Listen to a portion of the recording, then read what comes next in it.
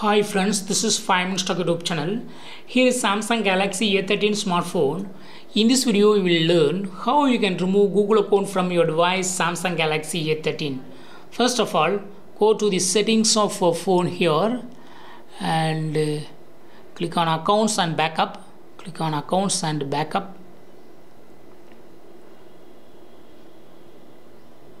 Click on manage accounts click on the email id that you have associated with your phone and click on remove account. Click on remove account here. And it will ask you to authenticate with your pattern or or uh, fingerprint. Are you sure? It asking are you sure? And yes it's ask, asking authentication. Verify your identity scan your fingerprint or use pattern. I scan my finger yes. It is removed. Google account is removed from your device. If you would like to check it go to google play store and uh, see there. If sign in is asked uh, that means uh, google account is already removed from your device. That's all friends. Thanks for watching. Bye